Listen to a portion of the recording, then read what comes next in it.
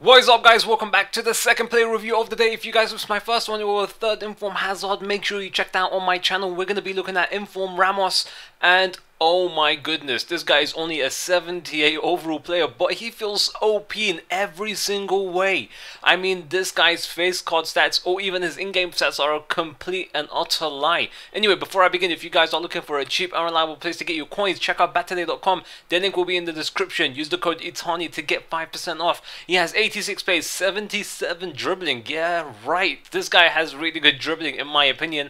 He has a 74 shot on his card. It feels way better than net and he has 86 heading. Can you believe that? 86 heading and he is 6 foot 1. Really awesome stats. Face card stats is awesome, but when you're playing with him, this guy feels really, really good. Very OP and I'm actually going to keep this inform because he just feels so good. I really enjoyed using him. Very good pace to begin with. This guy is extremely fast for over the top through balls. If you love to play that way, well, I know loads of you like to do that. So um, he's going to be, you know, just ideal for those sort of situations is very good dribbler at the same time. You'll see me very easily uh, just dribbling past defenders.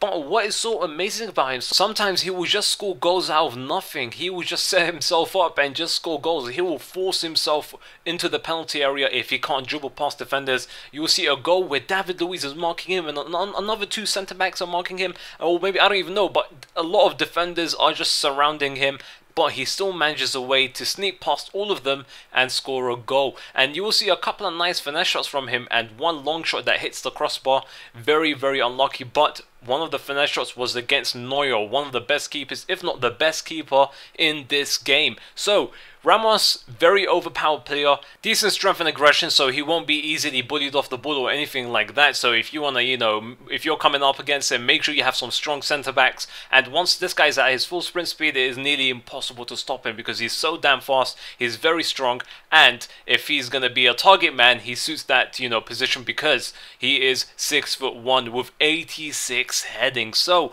um, he's also amazing at finishing in the penalty area. I had no problems finishing with him. He's very, very good at that. He has, like I said, very good heading and height, really good finesse shots from outside the penalty area, powerful shots and long shots. And even though if you're looking at his shooting um, on his face card stats, it's only 74 in game, it feels way better than that. And also his long shot stats in game don't look that great, but when you're shooting shots with him, it's awesome. So hope you guys enjoyed this video. If you did, I'd really appreciate a like. Make sure you let me know who you want me to review next. This guy right here, very overpowered. Definitely recommend him. He doesn't even go for much. I think he goes for like 50k on the PlayStation. So you could definitely try him out. He's not one of the most expensive players, but very very OP. So I hope you guys enjoyed it. Make sure you let me know in the comment section below who you want me to review next from this team of the week because there's a shit ton of new players and I really want to get through all of them. So I hope you guys enjoyed it and I hope you guys have a very nice day.